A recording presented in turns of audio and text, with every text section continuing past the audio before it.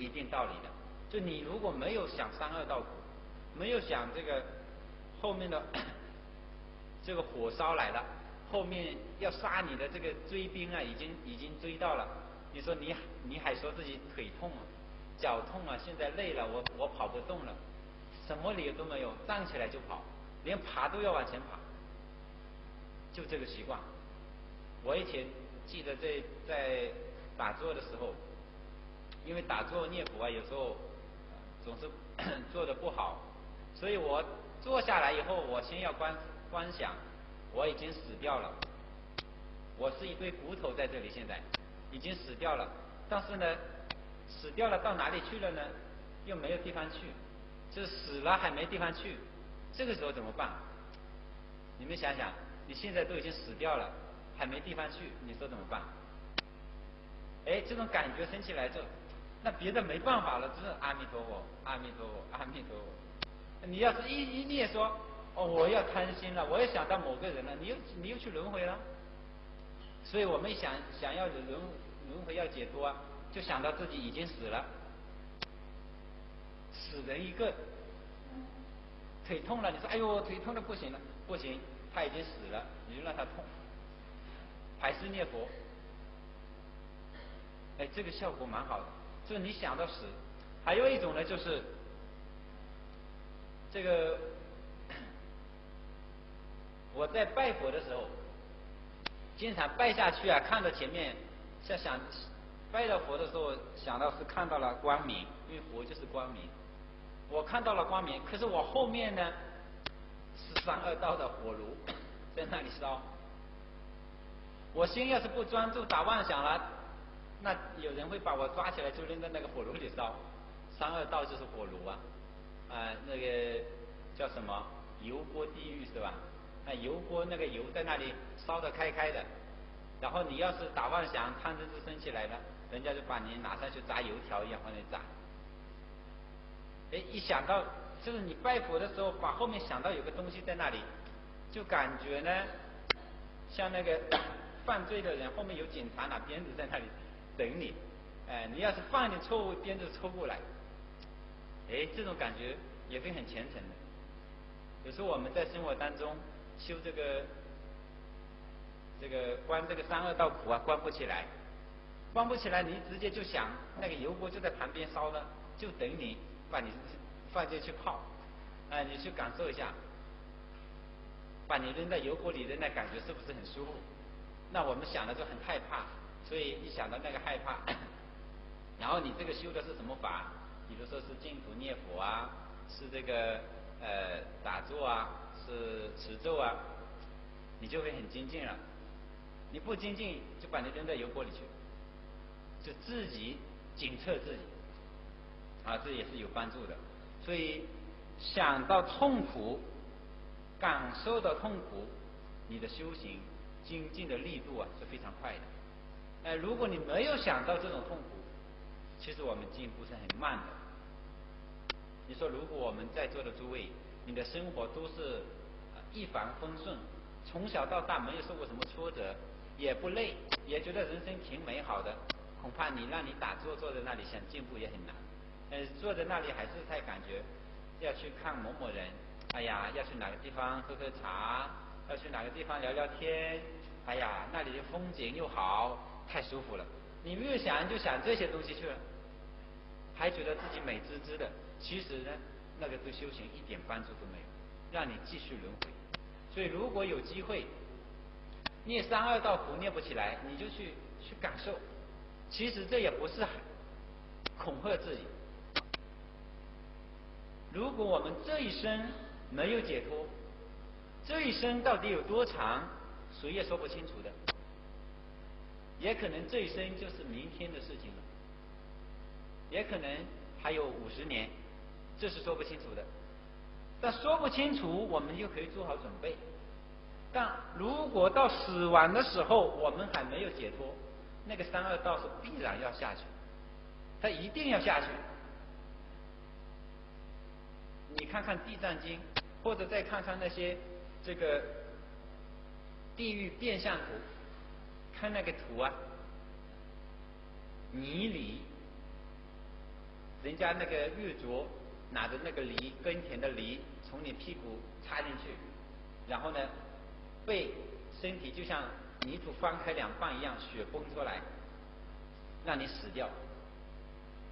然后拿锯从你头顶上锯下来，锯两半，风一吹啊又合起来。就你想一想，就是那种地狱的像，肯定会轮到的。你现在要不解脱，肯定会轮到。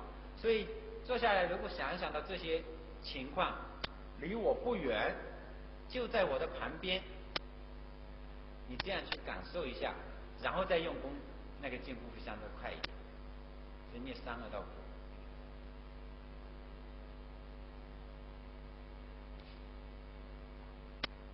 好，我们先休息二十分钟。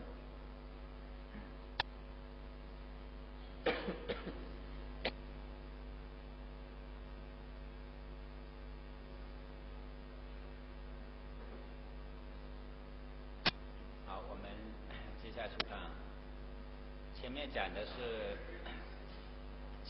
的指明不持咒有什么过失。能持咒有什么功德？下面是广显功德之因，就是广泛的告诉我们，受持人言咒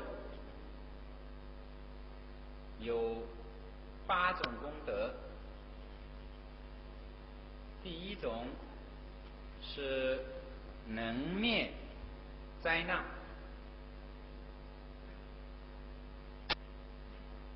大家看经文三百一十五页第四行，阿难，我今未如，更说此咒，救护世间，得大无畏，成就众生出世间智。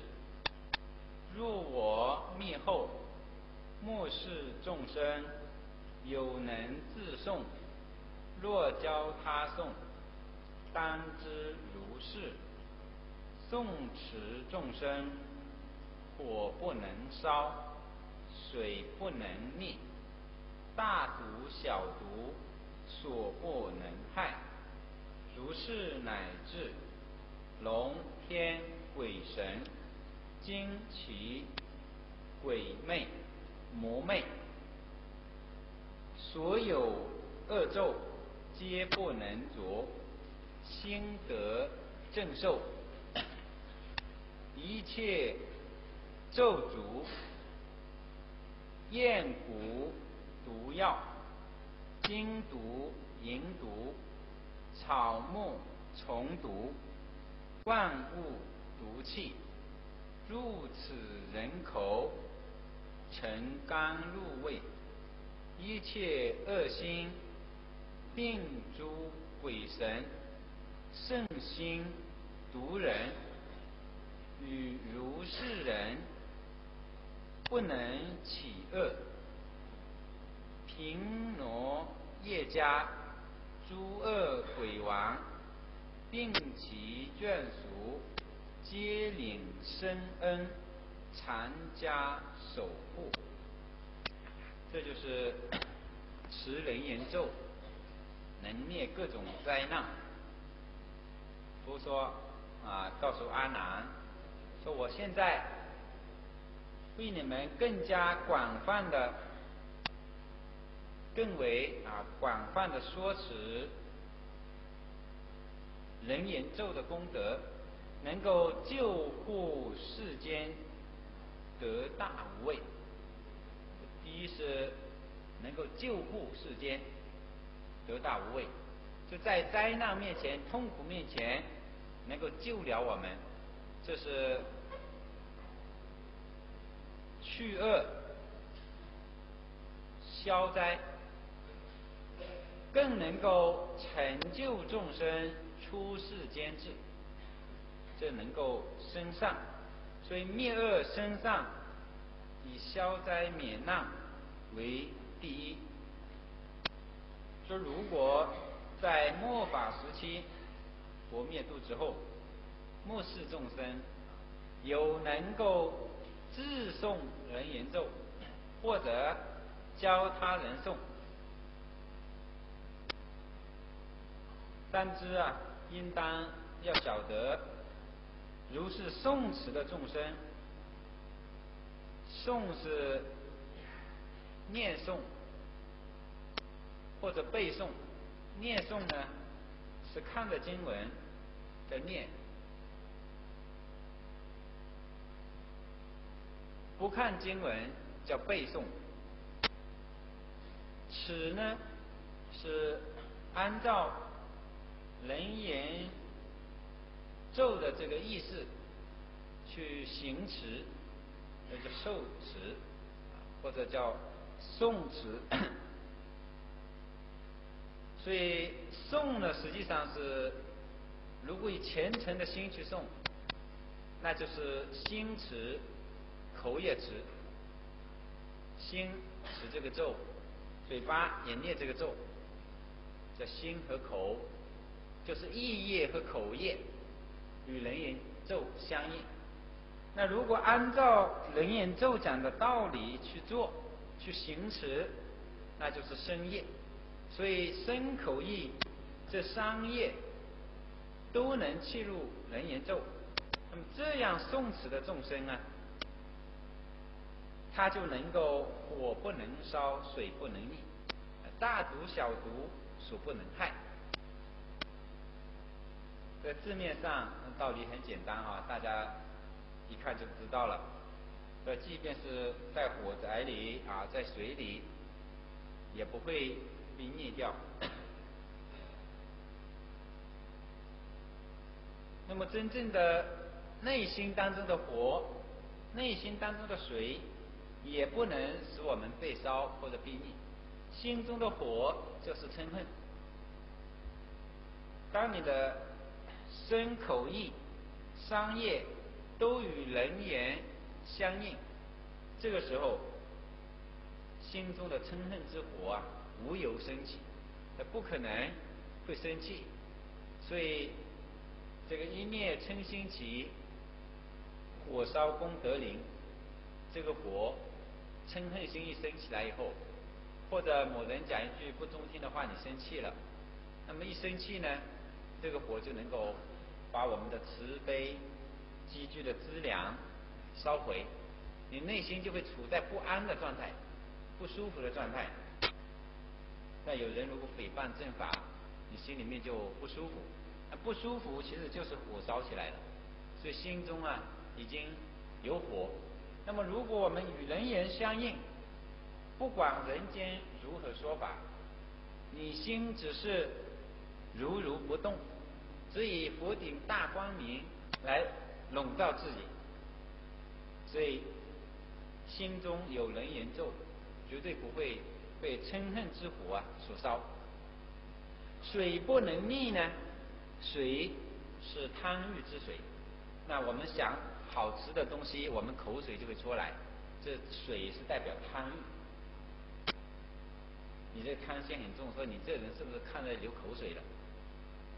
就是水不能溺，不会被贪欲而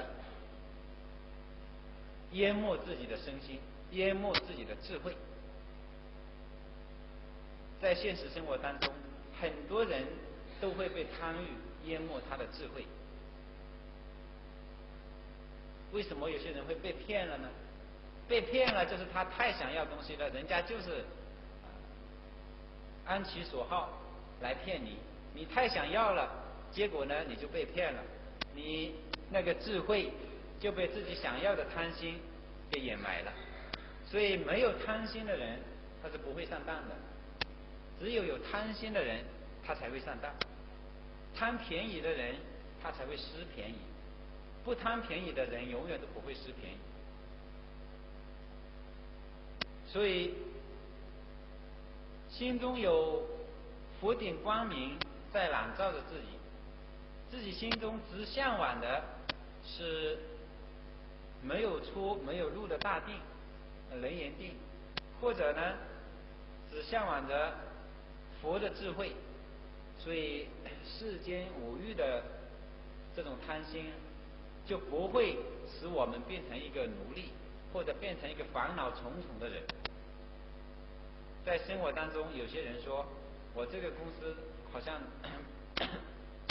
不努力啊，啊，不去每天去想，不去发展，就做不下去，会被淘汰掉。其实我观察也未必。那有些人他就是做的不大，十年了他也就这这么大，呃，稳定的赚多少钱，他也没有发展要挣第几名第几名，他是照样活得挺好的。哎，你每天总想去年是一千名，今年要五百名，明年要进一百名，后年要进第几名？你这个想法多了以后啊，那他觉得每天都要在这中间沉默了自己，目标很很远很广大。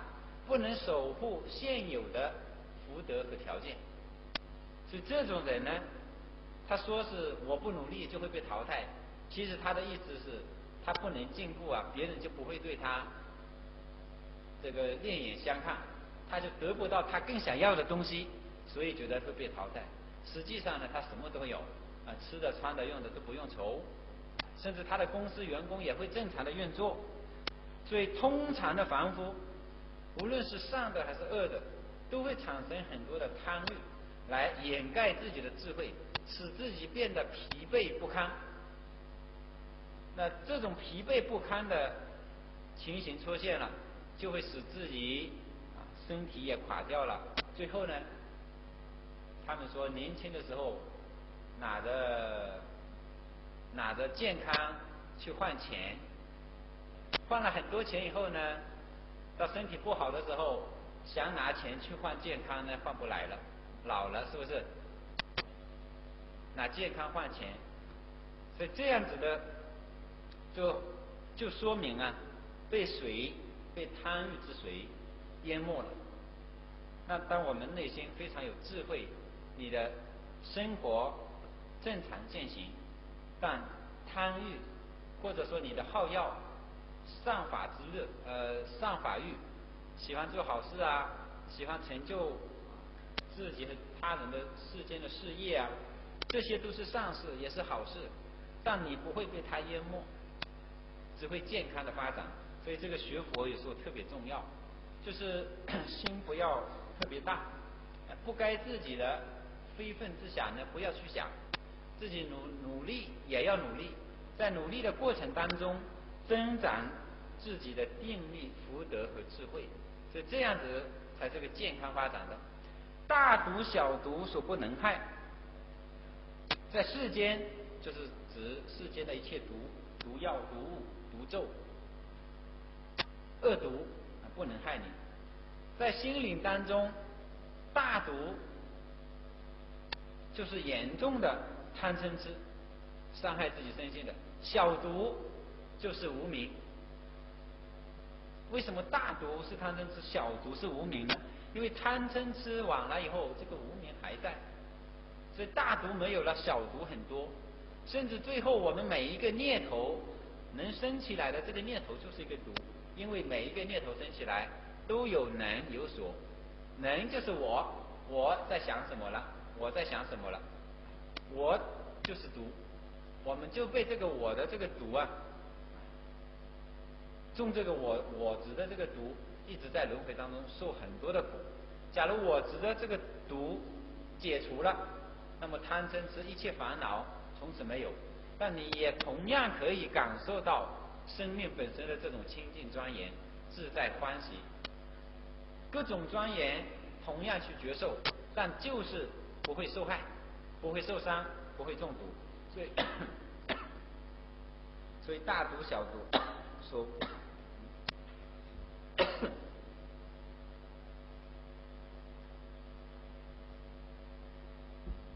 大毒小毒呢，就所不能害了。说如是乃至，就这样啊，持诵人言咒，身口意三业相应，乃至一切龙天鬼神、惊奇魔魅，所有恶咒啊，皆不能着。这里面我们要看到哈，所以六道的众生啊。是非常可怜的，无论他多么厉害，都很可怜。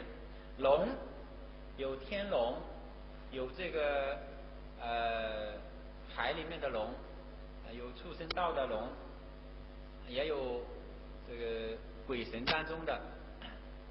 那么一般来说，佛经里面讲龙呢，就是指畜生道的龙，有水里的，有有空行的，也有住在树上的，还有地形的龙啊，有很多种。那么龙一般来说呢，它都有变化的能力，有变化的能力，像它的颜色啊，它的行为啊，它的形状啊，可以变大，可以变小，有这种神通。但是他如果嗔恨心生起来，要放毒的时候也很厉害的，他毒气啊，哎可以害人。这个天呢，这天人，天人虽然是上法感召他的天福，但是他因为是凡夫，我执很重，所以有时候他会有些恶咒。如果中了天人的恶咒，那是很麻烦的。但是天人的恶咒啊，一般来说，他都是中这种邪恶的人。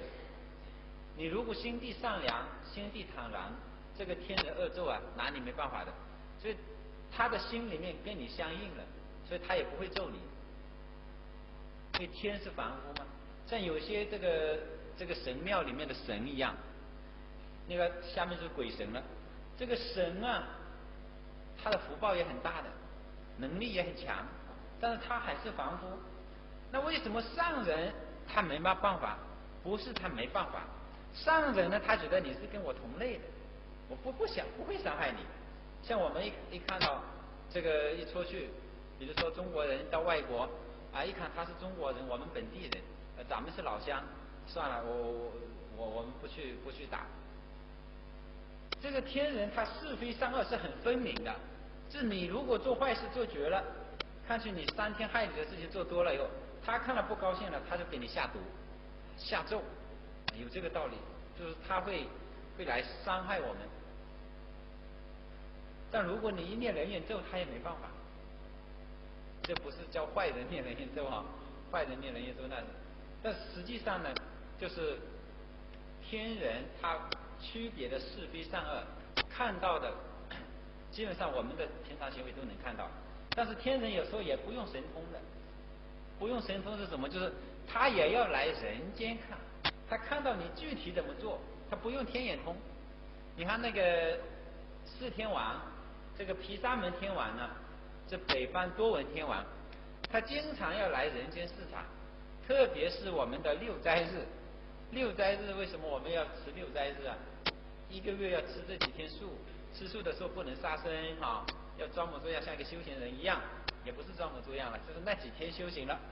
这个人是很狡猾的，那天人要来视察啦，我们就吃素，在那里念佛、供斋、做五戒、八关斋戒，哎，像个修行人。这个天人一走了呢，你就开始又又在那里啊吃喝玩乐又乱来了。就像这个上级领导要来了，我们就规规矩矩的；领导不来了，你也不知道在干些什么。这个人持斋，他有这个讲持斋的功德。说平时持斋为什么没有六斋日的功德大呢？其实是讲现实人间的果报没那么快。其实也是蛮骗这个天人的。说实话，是你的功德哪一天持都是一样的，哪里有我六斋日持斋的功德就大一点？那个不是六斋日功德就小呢？如果说功德大呢，是这么一个道理，就是那天天人正来视察你了，你在那里吃素，他一看，哎，这个人还不错，我应该做点好事，哎，你使他生善心，使他欢喜，使他做好事，这个有功德，哎，功德大就大在这里。所以这个有些人孝敬父母亲哈，对父母亲前面要恭恭敬敬，让父母亲高兴。其实你心里对他每天都好，这是才是真正的好。那你就那么在他面前高让他高兴一下，那还是不够的。但是你在他面前能使他高兴的，还是有功德。你如果在他面前也不怎么高兴，他也没有高兴，那他不高兴，这个功德就没有了。所以十六斋就是持斋呀、守戒啊，对我们自身来说，其实每天都是一样的。不会说你那一天杀人要放到最后会下地狱，这一天杀人你下最杀这个犯罪就不用下地狱，没有这个说法。但是 修行善法呢，就在六斋日或者十斋日当中，有天人来视察的时间当中，说你的功德呢可能比平时要大，就是你的果报可能要快一点，因为天人啊他也很直接的，就是他看到你好了，他就给你吉祥了，你要求他了就比较灵，哎他一看你看不顺眼了，你求他他不理你，结果我们人差不多，所以 这所谓凡夫啊，他没有像佛菩萨那样。如果是佛菩萨，哎，你今天求佛菩萨，明天求佛菩萨，你是个五恶十五逆十恶最坏的人，五恶不赦，十恶不赦啊，哎，你要求佛菩萨，他也一样加持你。但是一个坏人啊，他求佛菩萨加持，他的心力很弱，就他坏的念头想习惯了，你让他很虔诚、很专心求佛，这也很难，很难让他能够回归过来，所以。这个能够持诵人言咒的人，每天都在持，时时刻刻挂在身上，或者呢啊心中想着有人言咒的这种加持力。那天人他的恶咒，他有咒了啊，也不能害我们。鬼和神啊都是如此。所以有些人说这个求神的人比较多，我们温州好像神庙比佛。比佛殿还多，求神呢？那有些人就说了，他说到寺庙里面一看，那个神的眼睛瞪的是这么大的，是不是啊？瞪得很大的。他说佛的眼睛都合起来很小的，闭着看，眼观鼻，鼻观心。他说佛佛的眼睛都闭着都不看我，这神的眼睛大，所以他看我看得看得清楚，所以求神保佑比较快，求神的保佑比较快。但是你要小心呐。他眼睛很大瞪着，你要干坏事，他也看得很快的。哎，所以如果你做了坏事了，你对他稍微不恭敬了，哎，你可能就会遭殃了。这是神啊，他就是这样的。哎，你好了，他对你很好的，他很很耿直。一般来说，这个人间的神都是忠义之士，像关关公一样，忠义之士，就忠忠非常忠诚、非常仁义的人，呃，很讲义气。所以你好了，他对你什么都好，那所以他保佑也很快。你要是坏了呢，哎，他也马上找你算账。所以有些人信了神以后啊，这个呃不信了，或者你再去诽谤了，那你罪过就很大的，你要遭恶报的。所以我们大家如果信过神，你千万不要去诽谤他。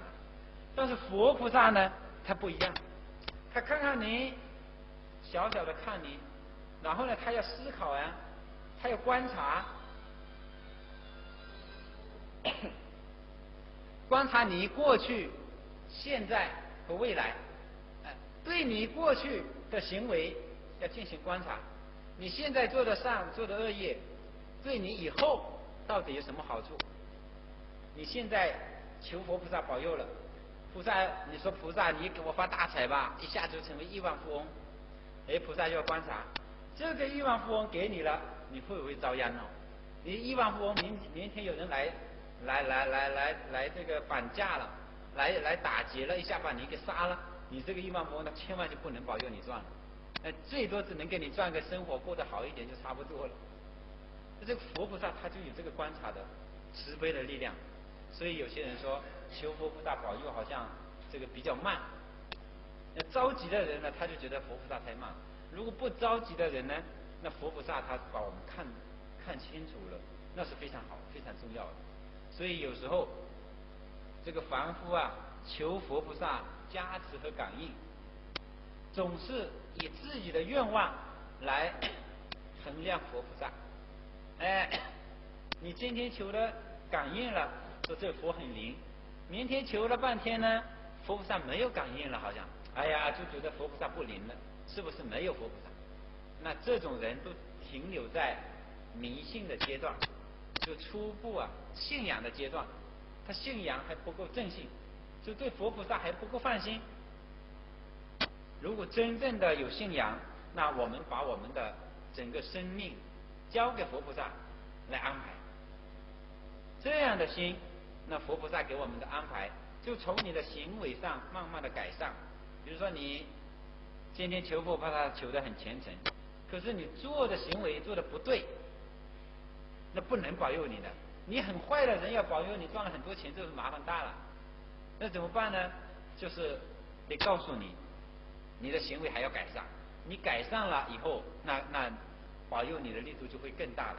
那等他行为改善了，那再保佑他，使他和他的有缘的众生呢，都能得到利益。所以世间的鬼神有恶咒，这个恶咒呢，它是以他的价值标准来下的，包括这些精奇魔魅。精就是妖精，这些动物也在修行，比如说蛇啊、黄鼠狼呐，啊，还有很多动物，它就能修行。动物修行以后的叫做精，有一些众生是无形的鬼道众生。他要选择一个 一块地方，比如说一个石头底下，或者一棵树，它停留在树上，停留在石头底下，这叫奇，叫地奇，叫天神地奇啊。所以神奇，神是指空中天上会飞的、飞行自在的，是空中的神奇众生。奇呢，是指地上的众生。住在树上，住在石头底下，所以有些人你在石头底下乱讲话，呃，这个这他这个鬼神听到了，这个地气听到了不高兴的。哎，如果你在这个呃树底下乘凉，或者这个这个地气呀，地气有有些是好的，有些还是坏的。有些坏的就是要害人的，比如说有些这个修行修得好了，他功夫好了，他去。呃，吸取这个动物和人的这种精气，吸精鬼神叫淡精食血，吸血鬼，哎，包括这些都是害人的众生。那么害人的众生有些，如果他是一般的，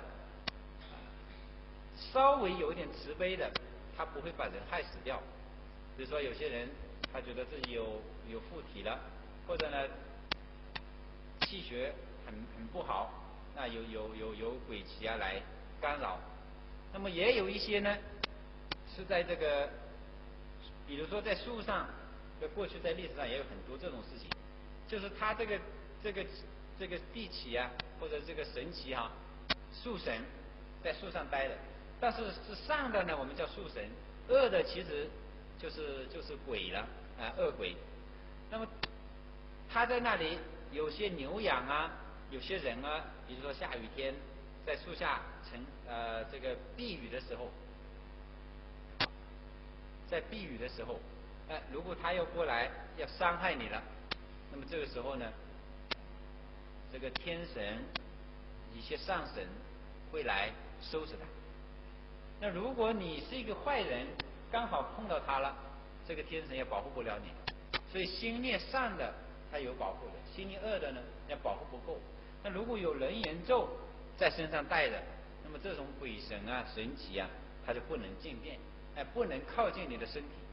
这个很有呃，这个佛经里面呢，也告诉我们，实际上是什么道理呢？就是人言咒里面所念的，这后面我们还会讲，就是所有的鬼神的名字名单都在上面，鬼王都在上面，就各种类鬼类的，包括龙天鬼神、惊奇。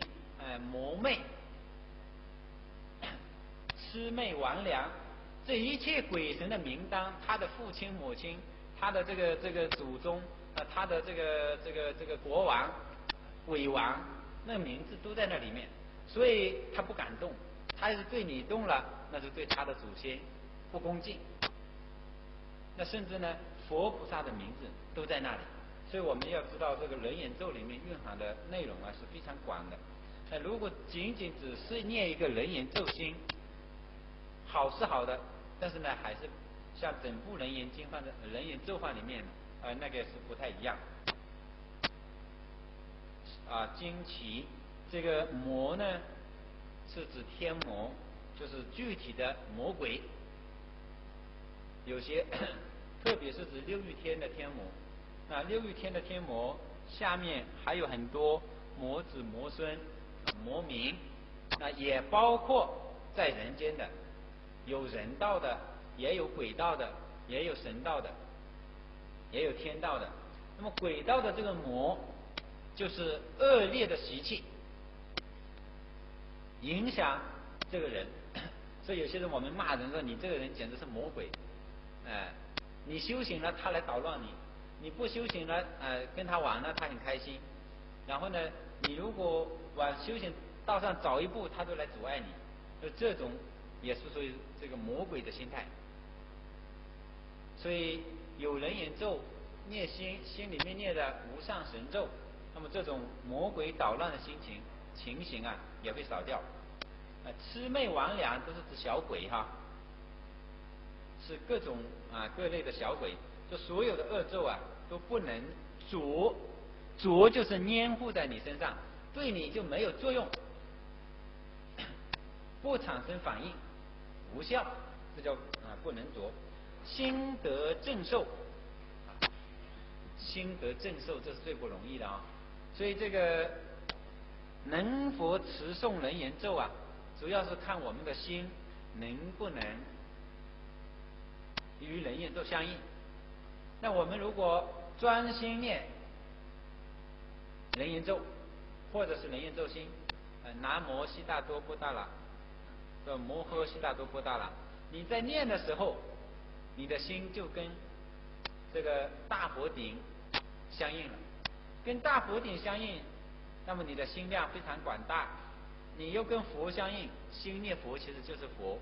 那顶呢又是无间顶相的光明，所以你即便念这个咒的本身，在念咒的当下，你的一切感受都属于正受，所以记得啊，心得正受啊，心只有跟咒相应就得正受。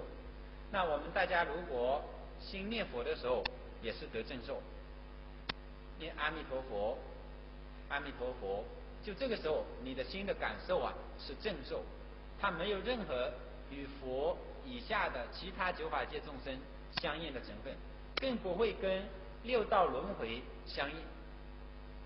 哎，念阿弥陀佛，既不会跟三恶道相应，也不会跟三上道相应，除非你现现在那里想，哎呀，念阿弥陀佛真好，念阿弥陀佛，哎，心里觉得，哎呀，念阿弥陀佛真好。你想到好的，这是天人相应了。你连好也不用想，就是念阿弥陀佛，阿弥陀佛。所以跟天道都不相应，只跟佛相应。所以念佛为什么能够了生死？原理就在这里。就你的心不停的跟出世间相应，跟六道不相应了。哎，等功夫成片了以后，过去跟六道相应的那些烦恼、那些习气啊，一点一点都被它净化掉了。所以能够心得正受，一切咒诅啊，就诅咒哈，别人害你的这个诅咒，一切咒诅啊，厌蛊毒药，厌蛊毒药就是指这个蛊惑、蛊毒啊，乃至其他的一切一切毒。这个厌呢，实际上就是。相通那个梦魇的魇，就是能够压住你的，能够使你不得自在的一切毒药，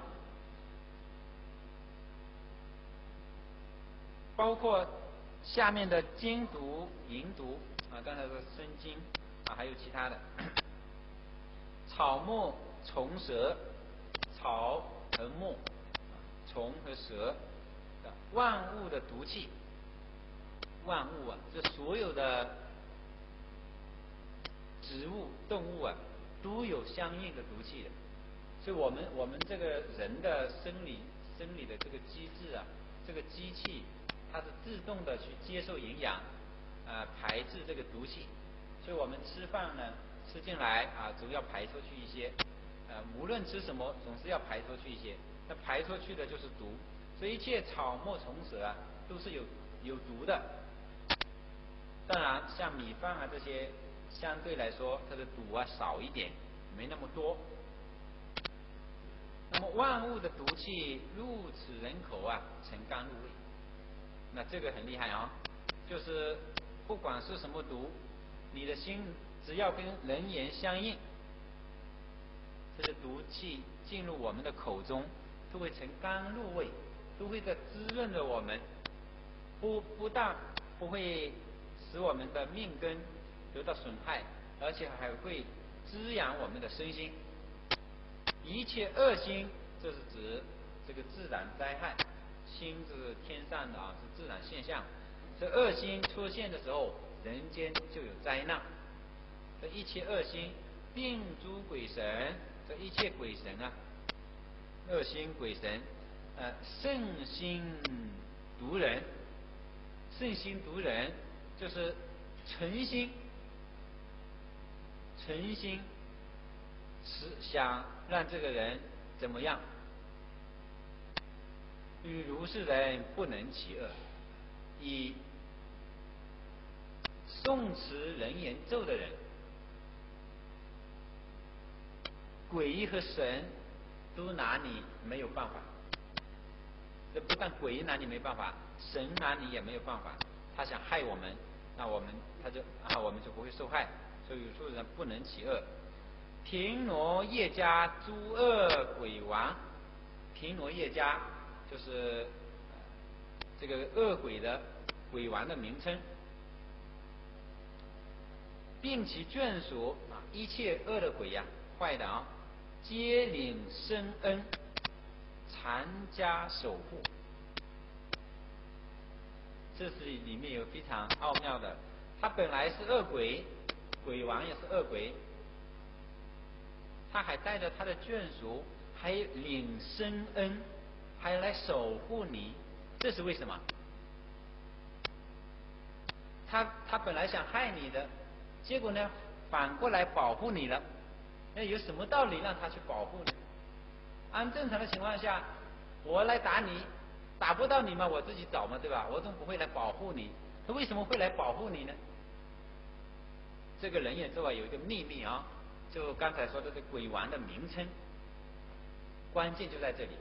以前我听说这个这个有一个人，他长了胡子，长了很这个很很大的胡子，很漂亮。这个嘴唇的上面的胡子啊，也是长得满满的，很长。然后呢，两边的胡子也长得很长。结果呢，这个人就看不见他的嘴了，因为嘴唇的胡子整个把嘴都盖住了。那个人看了这个人就觉得很纳闷，这个人吃饭到底怎么吃？这嘴巴都看不见了，吃饭怎么吃？好奇，然后呢想看他吃饭，所以就就就过去跟他打招呼了。说这个老先生啊，我我中午他说我看了你啊，这个非常高兴，一定要请你吃饭，中午要请你吃碗面条。然后呢就点了面条，他说好吧，那就吃吧。他点了一面条，他吃了。哎，他这个吃面条的时候呢，他口袋里留两个钩，哎，就像那个蚊帐的那个 钩一样，呃，戴在耳朵上。然后要吃饭的时候，把钩拿出来，把两根胡子一挂挂在旁边，然后吃起来。哎呀，他说这个从来没见过，怎么吃饭可以这样子的？胡子很长嘛。然后吃完饭以后呢，然后他就跟这个人说。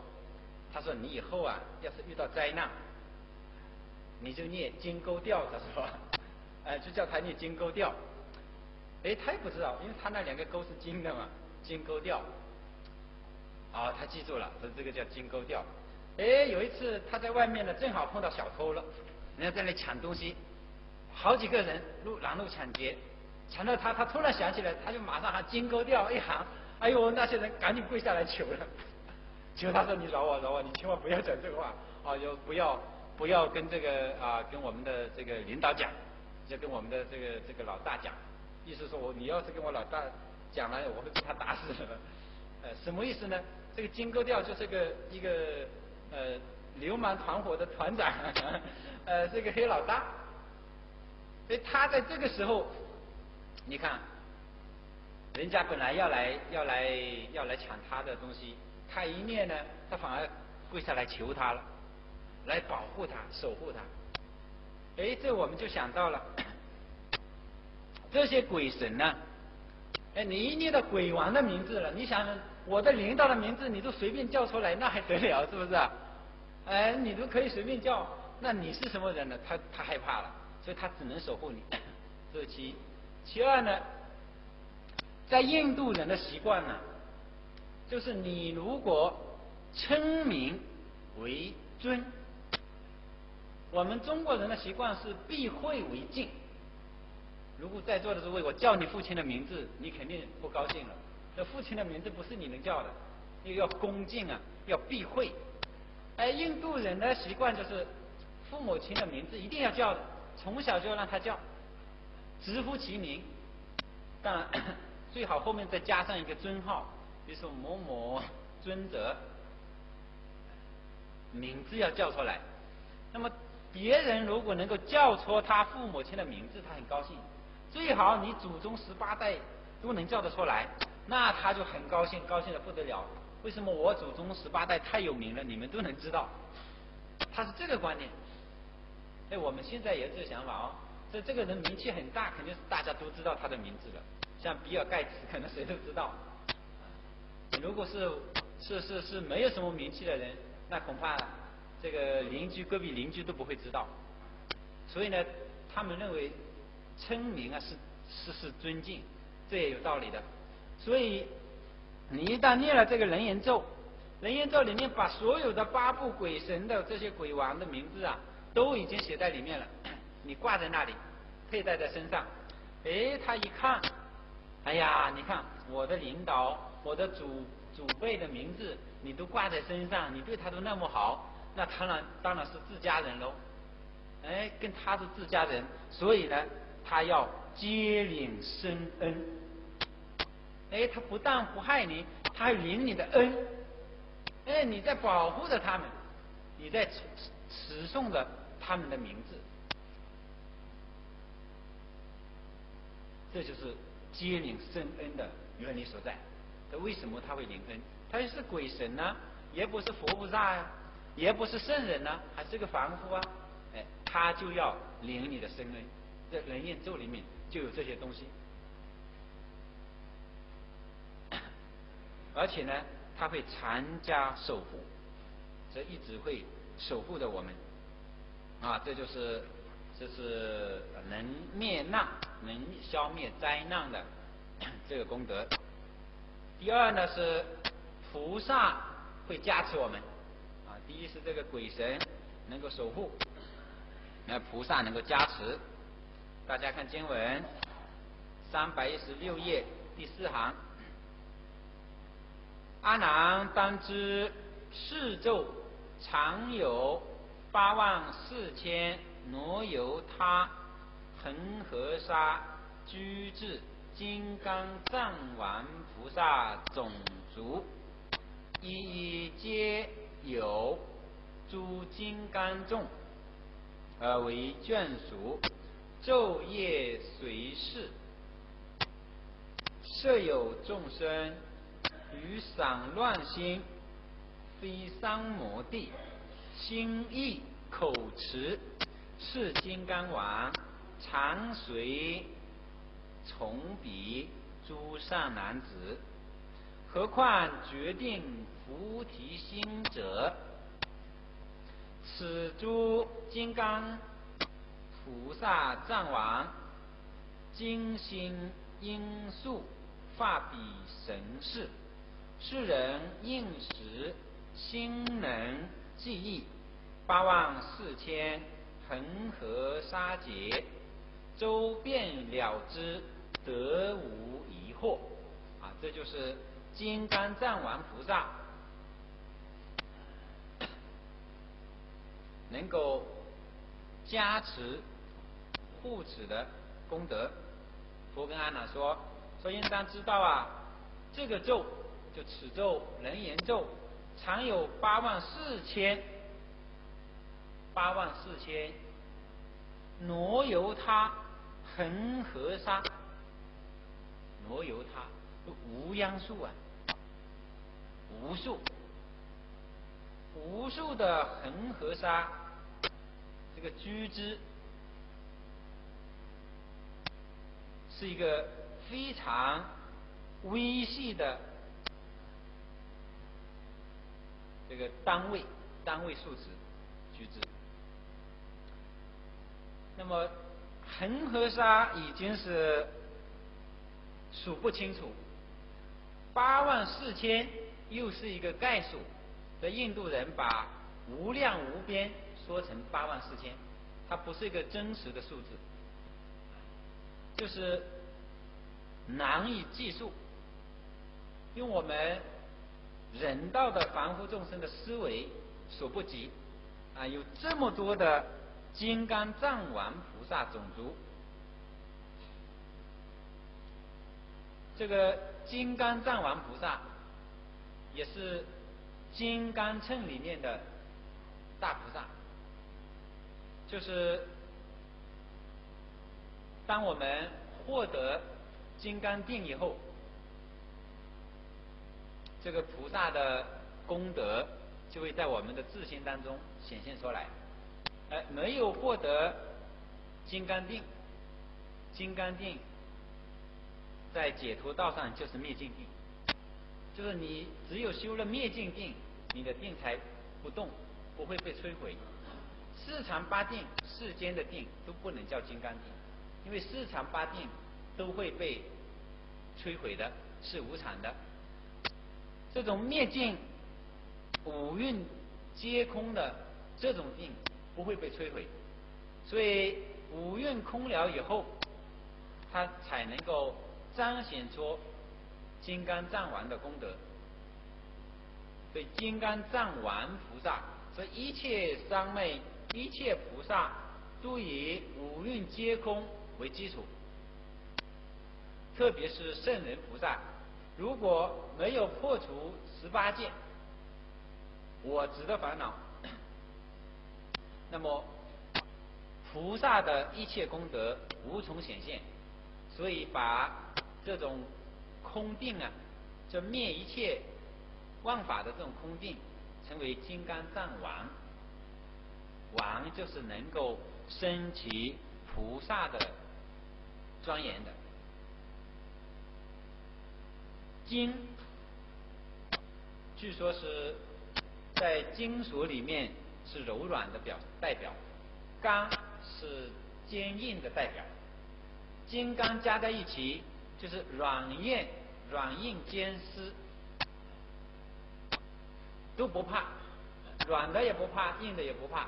所以金刚是指能摧毁一切器具，而不被任何物质、任何器具所摧毁，是不可战胜者，称为金刚。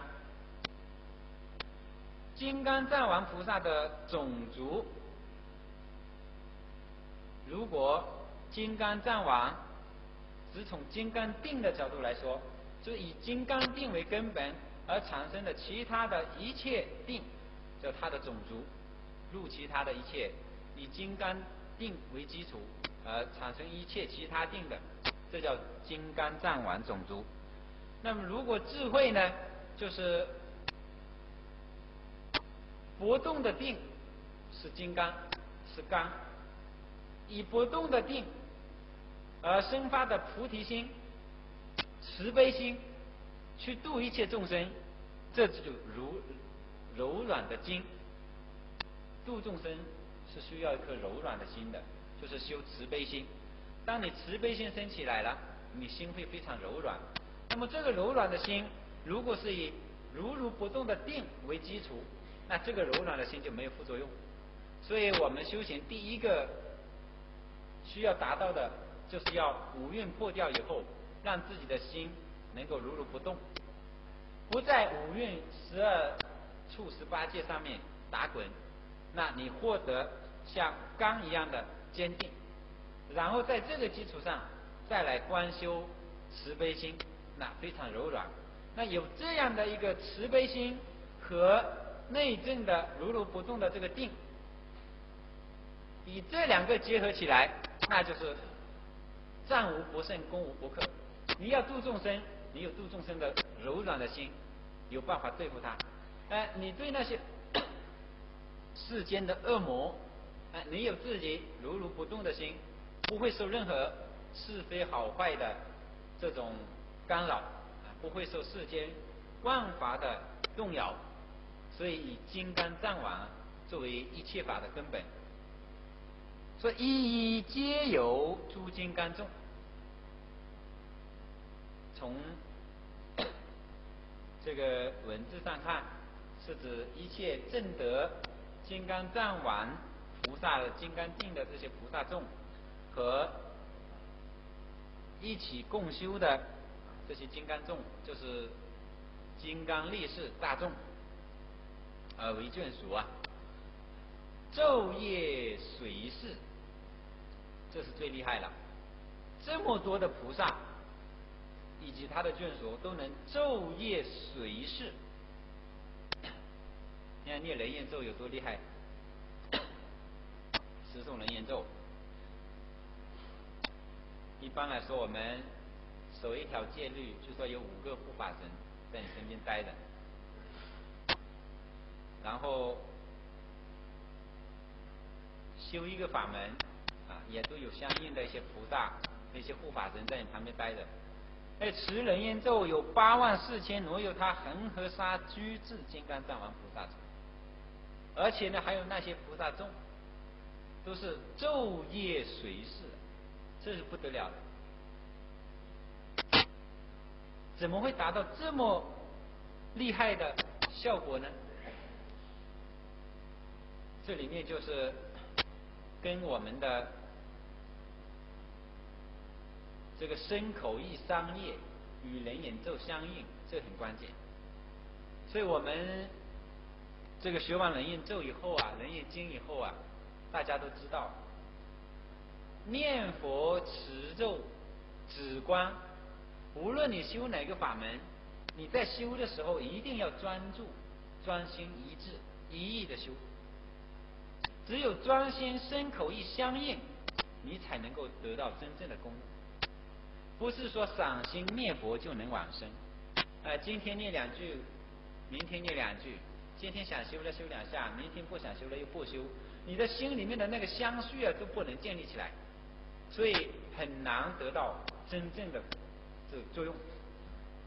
那我们在身口意全部相应的时候，这无量的金刚藏王菩萨就在你旁边随时，不管是白天晚上，就昼夜随时。随时随地都在伺候着你，就在你旁边保卫着你。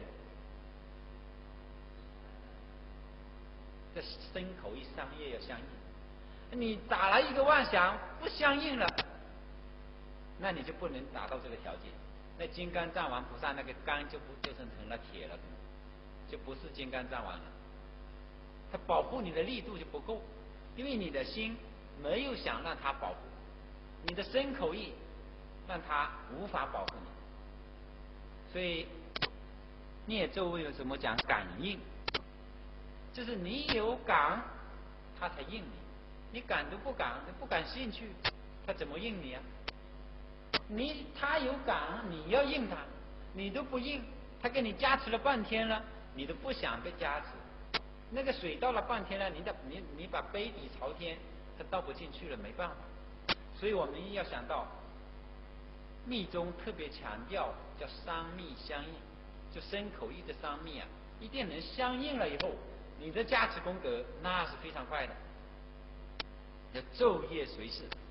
那么下面等两种功德是什么呢？就加持的两种情况啊，一种是设有众生与散乱心非三摩地，心意口持是金刚藏王，金刚王啊，常。随从比诸善男，啊，这是第一种，就是你还是散乱的心，心还很乱，但是散乱的心，并不是指你在那里打妄想哈，说口念弥陀心散乱，念念阿弥陀佛，我要喝水啦，念阿弥陀佛，哎呀，昨天某人又干嘛了？不是指这样叫散乱心，就说与散乱心是指我们还是非三摩地。这样的心，你还没有证得不出不入的大定，没有入定，就是我们现在这个状态。但是你也要专念，叫心意口持，你看到没有？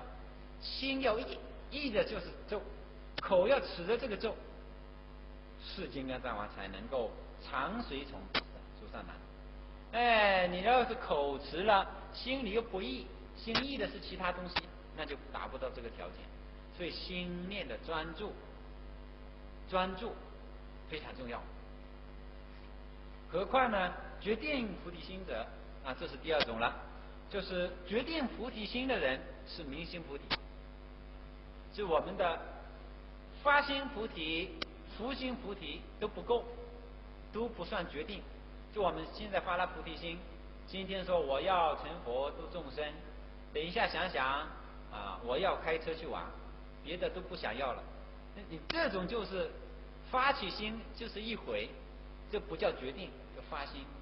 那发了心以后呢，还在那里生烦恼，这也叫发心，但是还是个烦恼心。那发了心以后，你在那里用功，心慢慢的定下来了，能感受到心身心比较安。这个时候呢。